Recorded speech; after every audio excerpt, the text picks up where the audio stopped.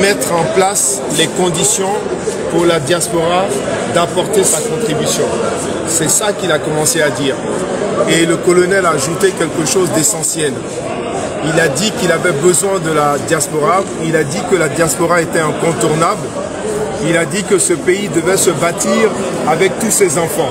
Et ça, c'est très important. C'est un message qui est très fort.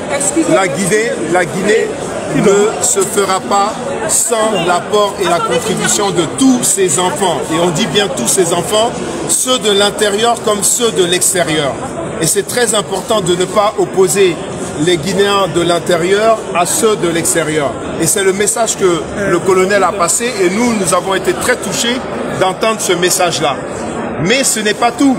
Le colonel a fait des déclarations formidables depuis euh, le, le coup de force, mais en réalité, ces déclarations ont été aussi suivies d'actes et d'effets.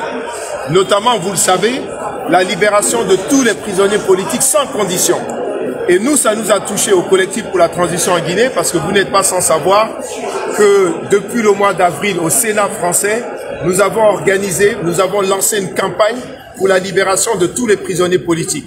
Et donc, lorsque quelqu'un arrive au pouvoir, qui libère ses prisonniers, nous n'allons pas faire la fine bouche. Nous allons nous réjouir. Et c'est pour ça que nous nous réjouissons des premiers actes pris par le colonel. Moi-même, j'ai eu la chance, avant aujourd'hui, d'échanger avec lui. Et je lui ai dit ce que j'ai dit aujourd'hui, à savoir que nous avons pris acte du chemin intéressant qu'il est en train de prendre, mais que nous espérons qu'il continuera sur ce chemin-là. Parce que finalement, ce pays a trop souffert. Ce pays mérite d'être sauvé. Et il sera sauvé par tous ses enfants, mais il sera sauvé surtout par ceux qui le dirigent. Si les dirigeants ne sont pas bons, ben rien ne sera possible. Parce qu'en Guinée, il y a quand même un système et ce système-là, il est très puissant.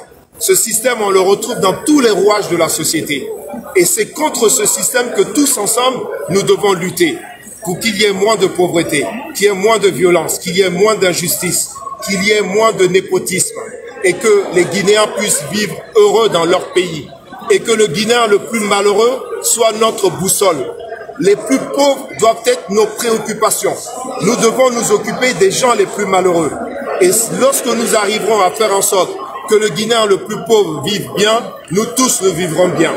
Et ce pays-là, je finis là-dessus, ce n'est pas simplement un scandale géologique, c'est un scandale humain, parce que c'est un pays qui a beaucoup de ressources humaines. Le problème, c'est les amener à travailler ensemble et leur donner la preuve par son exemplarité. Il faut être exemplaire. Ceux qui sont en haut doivent donner le bon exemple, doivent être exemplaires. Et s'ils sont exemplaires, le reste de la population suivra. Parce que le Guinéen est courageux, parce que le Guinéen en a marre de cette situation, parce que le Guinéen veut s'en sortir. Et aujourd'hui, nous avons une chance historique d'arriver à transformer nos